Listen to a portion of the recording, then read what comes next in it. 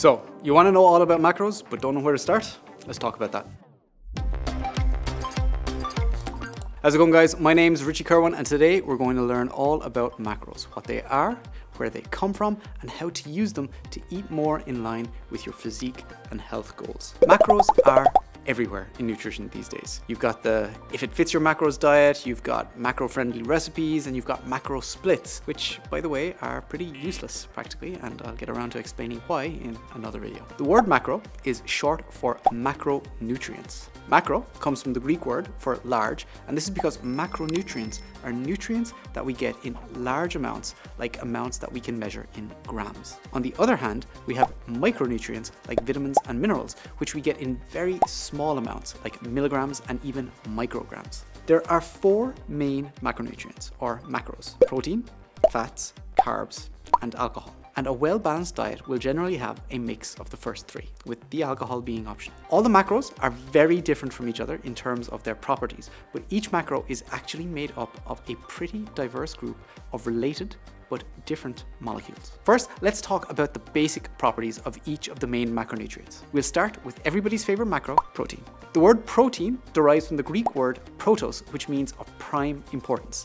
And that has a lot to do with protein's essential role in a whole host of processes in your body. In terms of calories, one gram of protein provides four calories of energy. Proteins are actually made of long chains of smaller molecules called amino acids. The word amino comes from the fact that all amino acids contain an amine group, which contains nitrogen, with protein being the only macronutrient that contains nitrogen. There are 22 amino acids in human nutrition nine of which are considered essential because they cannot be formed in the human body, and therefore we have to get them from our food. The human body needs amino acids in specific ratios. In the body, protein is necessary for growth and repair of various tissues.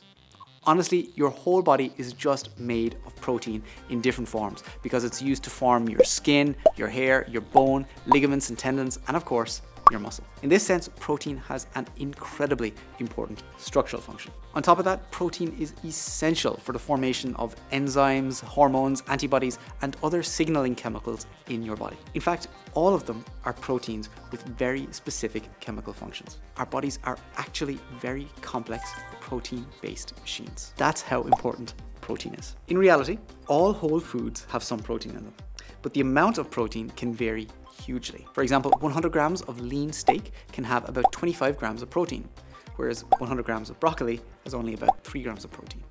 The amount of calories that comes with different sources of protein can also vary hugely too.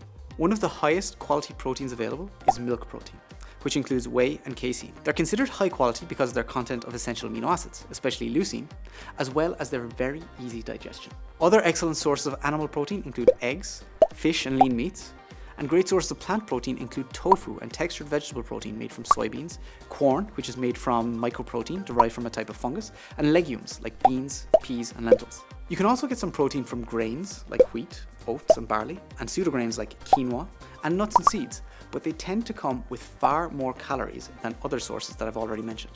So they probably shouldn't be the main sources of protein in most people's diet. In terms of how much protein you should eat, that depends on your goals.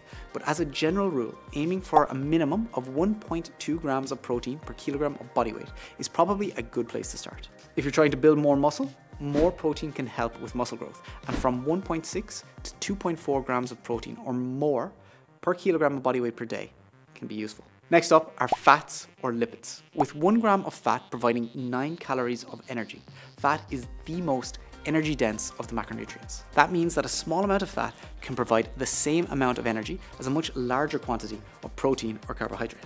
For clarification, both fats and oils are lipids and have the same caloric value. Fats are simply lipids that are solid at room temperature, for example butter, and oils are lipids that are liquid at room temperature, for example olive oil. For this video, I'm just going to call them all fats. Fats are made up of chains of carbon atoms called fatty acids. Three fatty acids, chemically joined to a molecule of glycerol, form a lipid molecule, hence the other name for fats, triglycerides. Fatty acids vary a lot in length and in the number of double bonds that they contain, and this alters the properties of the fats as well. Saturated fatty acids generally come from animal sources like the fat in and on red meat and in dairy foods and eggs, but they come from plant sources too, like coconut and palm oils, which are actually solid below a certain temperature. Unsaturated fatty acids can be found in foods such as olive oil, avocados, almonds, and other tree nuts, sunflower seeds, peanuts, and most common vegetable oils, flax seeds, walnuts, pumpkin seeds, and oily fish. Fats have a lot of different functions in human nutrition. They form the membranes around every cell in our body, so they have a structural role. They're concentrated energy sources, which means they act as a very efficient form of energy storage, otherwise known as body fat. And they help us to absorb the fat-soluble vitamins A, D, E, and K. And essential fatty acids play important roles in the immune system and inflammatory responses, where the balance of omega-3, omega-6 is really important. When it comes to how much fat you should have in your diet, it really depends on personal preference and if you're a competitive athlete or not. If you prefer more fat in your diet, it's fine to have a higher fat diet and you can still lose or maintain weight on a high fat diet as long as you adjust your calories accordingly. One thing to point out though is that very low fat diets can have side effects like a lack of energy, poor physical performance, and a decrease in sex hormones, which can even lead to a loss of libido or sex drive. Now, nobody wants that, so make sure your fat intake doesn't drop below 0.6 grams per kilogram of body weight per day for an extended period, which is more than a few weeks. As a rule of thumb, just subtract 100 from your height in centimeters, and that'll give you a good daily minimum fat intake in grams. So if you're say 180 centimeters tall, take 100 from that, and that gives you 80 grams of fat per day as a rough minimum to aim for. Next up, carbohydrates or carbs. One gram of carbohydrates provides four calories of energy, meaning they have the same energy content as protein. Carbs just like the other macronutrients, are made up of smaller molecules joined together. The basic units of carbs are monosaccharides, or simple sugars, which join together to form disaccharides, two simple sugars, or polysaccharides, which are multiple molecules of simple sugars. The three most common simple sugars are glucose, fructose, and galactose. Different combination of these sugars produce different polysaccharides. There is no minimum requirement for carbohydrates in your diet as they are not considered essential, but don't let that statement fool you. Just because something isn't essential doesn't mean that it doesn't have benefits. Think about whatever you're watching this video on, your phone or tablet or laptop.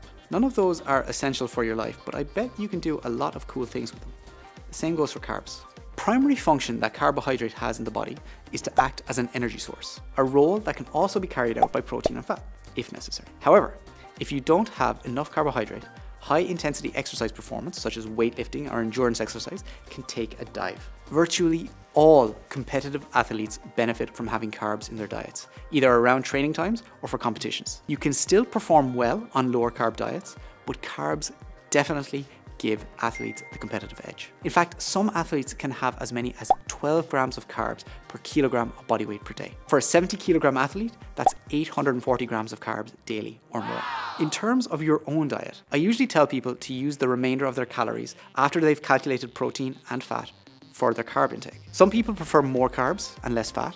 Some people prefer more fat and fewer carbs. Honestly, for most people, it doesn't matter. If you're a competitive athlete, don't skimp on the carbs though. Sources of simple sugars include fruits, table sugar, honey, juices, and you can get starch from cereals and cereal products, potatoes, bread, legumes like beans, peas, and starchy vegetables like pumpkins. At this point, I also want to mention fiber, which is technically a carb, but it's mostly indigestible by humans. That said, in the small intestine, our gut bacteria can ferment fiber and produce short chain fatty acids, which we can get some energy from. High fiber foods have been shown to have a multitude of health benefits, like improving blood sugar control, reducing our cholesterol levels, feeding our gut bacteria, keeping us feeling fuller for longer, and helping to keep us regular.